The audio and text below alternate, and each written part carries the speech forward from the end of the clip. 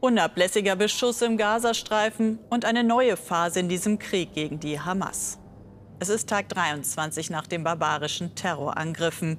In einer ausgeweiteten Bodenoperation macht Israels Armee mit Panzern und Spezialeinheiten Jagd auf Hamas-Führer und versucht, den nördlichen Teil des Gazastreifens abzuriegeln. Es ist auch der Tag, an dem die Familie von Shaniluk traurige Gewissheit erfährt, dass die 22-jährige Deutsche von der Hamas getötet wurde. Angst und Sorge wachsen auch bei den Angehörigen der mehr als 200 weiteren Geiseln, die noch immer in den Händen der Terroristen sind. Herzlich willkommen zu einem ZDF-Spezial. Während israelische Soldaten in den Gazastreifen vordringen, veröffentlicht die Hamas heute ein weiteres Video von mutmaßlichen Geiseln. Von grausamem Psychoterror spricht der israelische Ministerpräsident Netanyahu und hat eine gute Nachricht. Eine Soldatin wurde jetzt befreit. Für die Angehörigen der entführten Deutsch-Israelin Shaniluk gibt es seit heute keine Hoffnung mehr. Die 22-Jährige ist tot. Freunde und Familie von Shani Luke vor rund zwei Wochen in Tel Aviv beim Besuch von Kanzler Scholz in Israel. Dort hatten sie noch die Hoffnung, dass sie am Leben ist. Doch heute die traurige Gewissheit. Die 23-jährige Deutsch-Israelin ist tot. Die Familie und auch die deutsche Botschaft in Israel bestätigen, dass sie im Zusammenhang mit dem brutalen Angriff der Hamas-Terroristen am 7. Oktober ums Leben kam. Ich empfinde auf der einen Seite Traurigkeit, weil es keine Chance gibt, dass sie zurückkommt. Auf der anderen Seite gibt es jetzt Gewissheit, was mit ihr passiert ist. Sie hat wahrscheinlich nicht gelitten und ist ziemlich am Anfang gestorben. Luke war beim Überfall der Hamas auf ein Musikfestival entführt und verschleppt worden. Seitdem galt sie als vermisst. Bundeskanzler Scholz bezeichnete die Ermordung von Shani Luke als furchtbare Tat und Barbarei. Ja, und über die Situation der Geiseln, wir haben es gehört, wahrscheinlich ist es noch über 239, möchte ich jetzt mit Gerhard Konrad sprechen, ehemaliger Mitarbeiter beim Bundesnachrichtendienst in Nahost, der früher bei Verhandlungen bei einem Gefangenenaustausch mitgewirkt hat. Herr Konrad, wie hat sich denn durch das Vordringen der israelischen Armee in Gaza die Lage der Geiseln verändert? möglicherweise gar nicht zu dramatisch, äh, weil die Geiseln ja sehr verteilt äh, über den Gazastreifen offensichtlich untergebracht worden sind. Wir haben ja jetzt erlebt, dass auch eine äh, Geisel hat befreit werden können durch die israelischen Streitkräfte. Hamas hat ein Interesse daran, die Geiseln weitgehend bei sich zu behalten, am Leben zu behalten, um mit ihnen Verhandlungen zu führen, über sie Verhandlungen zu führen, was wir ja auch schon die ganze Zeit an Verlautbarungen erleben. Mhm. Heute hat die Hamas ja ein weiteres Video mit Geiseln veröffentlicht. Ist der Zeitpunkt genaues Kalkül?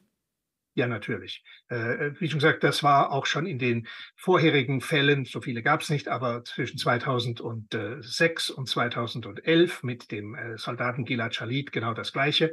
Äh, es wird eine gezielte äh, Psycho-Operation äh, gegen äh, gegenüber Israel und gegenüber den trauernden und äh, verängstigten Familien geführt, um Netanyahu unter Druck zu setzen. Ja, inwieweit kann denn die israelische Regierung beim Vordringen in Gaza überhaupt Rücksicht nehmen auf die Geiseln? Äh, natürlich nicht direkt, weil sie ja auch gar nicht wissen, wo die Geiseln ganz exakt äh, da sind, aber sie gehen schrittweise vor, wie wir meinen zu sehen. Das heißt relativ langsam, auch um die eigenen Soldaten zu schützen. Und dadurch bleibt natürlich auch die Chance für Hamas, wo nötig, äh, Geiseln äh, aus der Kampfzone zurückzuziehen. Mhm. Es sind ja auch deutsche Staatsbürger unter den Geiseln. Wer kann da noch vermitteln und wie groß ist die Hoffnung? Äh, die ist genauso groß oder klein äh, wie für die anderen Geiseln. Äh, hier kann man in der Tat erstmal von einer faktischen Schicksalsgemeinschaft äh, ausgehen. Äh, und die Vermittlungen, die Verhandlungen können nach Lage der Dinge derzeit entweder über die Kataris oder die Ägypter geführt werden. Hier wird Deutschland genauso wie jeder andere Staat, dessen Staatsbürger in Hamas Hand sind, äh, gut beraten sein. Und das tun sie ja auch äh, intensiv mit diesen beiden Vermittlerstaaten und natürlich mit Israel in Kontakt zu treten und eine gemeinsame Verhandlungsposition einzunehmen. Vielen Dank für diese Einschätzung, Gerhard Konrad. Danke, Martina. Ja, die Hamas ausschalten, das ist das erklärte Ziel Israels. Doch wie? Während die Hamas die Zivilbevölkerung hemmungslos als Schutzschild nutzt und über ein weit verzweigtes Tunnelsystem verfügt. Und was ist der Plan Israels nach der Offensive? Bevor wir darüber reden, zunächst Britta Jäger über die wohl wichtigsten Strippenzieher hinter den brutalen Anschlägen der Hamas. Schlagt das Schwert gegen das Schwert. Wir besingen Mohammed Daif. Palästinenser im Westjordanland feiern einen Mann, der beim schlimmsten Massaker in der Geschichte Israels maßgeblich die Strippen zog. Mohammed Daif ist Anführer des militärischen Arms der Hamas und ein Phantom. Kaum jemand in Nahost weiß, wie der heute Ende 50-Jährige aussieht. Siebenmal sollen die Israelis bisher versucht haben, Daif zu töten, konnten ihn mit Luftschlägen, 2014 zum Beispiel, aber wohl nur verwunden. Dave soll nie zu Hause schlafen, keine Telefone benutzen, Befehle nur mündlich oder auf Papier erteilen und so die Invasion ungehindert im Verborgenen geplant haben. Gemeinsam mit Yahya Sinwar.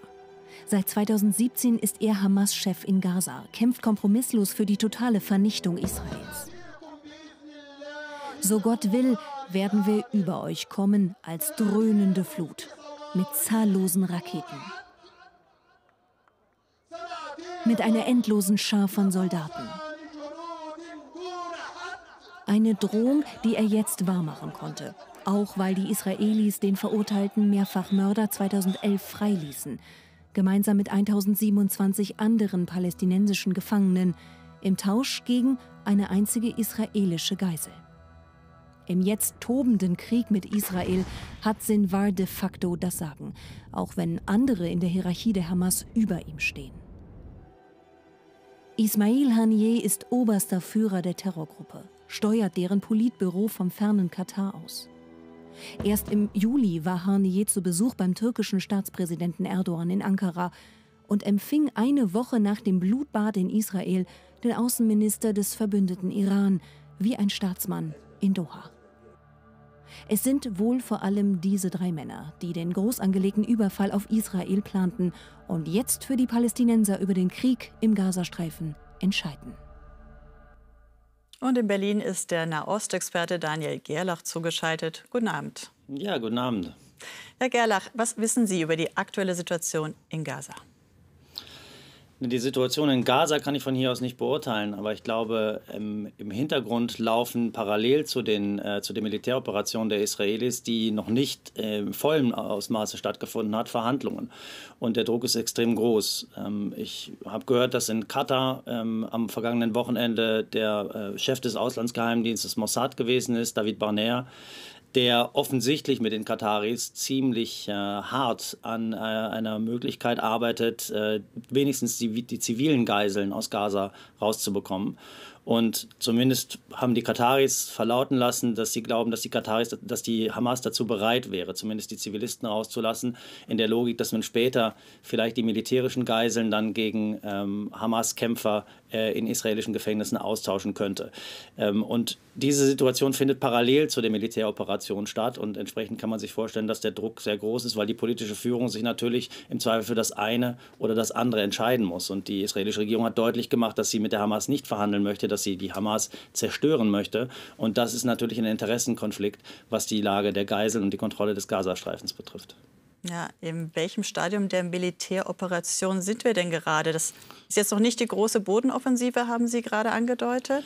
Ja, ich habe auch nicht den Eindruck, dass man ankündigen möchte, wann diese große Bodenoffensive stattfindet. Wie soll das auch sein? Man geht eben schrittweise vor. Ich habe jetzt den Eindruck, dass man versucht, den Gazastreifen erstmal in zwei Teile äh, zu trennen, um eben äh, den Norden Gazas vom Süden äh, abzuspalten und dann letztendlich die Angriffe auf den Norden auszurichten, wo es im Übrigen immer noch sehr viel Zivilbevölkerung geben soll in Gaza-Stadt.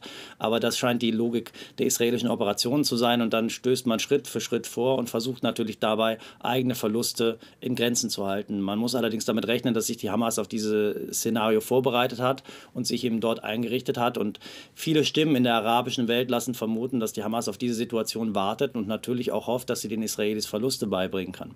Ja, wir sehen weltweit viele pro-palästinensische Demonstrationen. Trotz des ja grauenhaften Massakers der Hamas hat Israel den Kampf der Bilder schon verloren? Ich denke, das ist für, die, äh, für Israel, für die israelische Führung ein Stück weit zweitrangig, weil man sich mit diesem Szenario abgefunden hat. Die Frage ist, was bedeutet das für die westliche Welt? Äh, ich komme gerade aus der Türkei zurück und äh, habe mit großer Verwunderung gesehen, dass dort in allen staatlichen Nachrichtenkanälen von einem Genozid in Gaza gesprochen wird. Das heißt also, in der muslimischen Welt, wenn das ein Indikator ist, in der muslimischen Welt ist man der Ansicht, dass das, was dort im Gazastreifen jetzt passiert, nicht eine Antwort auf eine Terroroperation der Hamas ist, sondern Teil eines großen Plans zur Vertreibung und letztendlich auch äh, Enteignung der palästinensischen Bevölkerung. Äh, und wie gesagt, in, in, in, einigen muslimischen Ländern wird sogar der Begriff Genozid verwendet. Und wenn man sich anschaut, wie weit wir da auseinander sind bei der Beurteilung der Lage, dann denke ich, kann das auch auf internationaler Ebene sehr, sehr gefährlich werden. Und was glauben Sie, wie wird das weitergehen in den nächsten Wochen, Monaten? Ministerpräsident Netanyahu hat ja angekündigt, dass sich die Israelis auf eine lange Operation einstellen sollen. Er hat auch, ich finde, recht düstere Worte dafür gefunden. Man hat ihm auch selber angemerkt, dass er hier nicht nur der zynische Machtpolitiker ist, sondern tatsächlich persönlich auch erschüttert und sich in einer sehr schwierigen Situation befindet, um die ihn wirklich niemand beneidet. Ich denke tatsächlich, es wird eine längere Operation geben, aber man versucht dabei immer noch, die Geiseln rauszubekommen und äh, parallel zu verhandeln. Ich kann mir kein Szenario vorstellen, dass man tatsächlich am Ende dazu kommen wird, den Gazastreifen komplett äh, wieder zu besetzen, unter israelische Verwaltung zu bringen. Und die palästinensische Autonomiebehörde in Ramallah, die ja ins Spiel gebracht wurde, dass sie möglicherweise dann den Gazastreifen kontrollieren könne, die hat, die hat schon angekündigt, dass sie das nicht tun wird, es sei denn, es gibt einen groß angelegten Friedensplan, bei dem auch die Zwei-Staaten-Lösung, also mit einem eigenen unabhängigen mhm. Staat Palästina, wieder auf den Tisch kommt. Ja, vielen Dank für diese Einschätzung, Daniel Gerlach. Ja, danke Ihnen. Das war unser ZDF-Spezial zur Lage in Nahost an einem Tag, an dem es eine gute Nachricht gibt. Eine Geisel, eine Soldatin wurde befreit.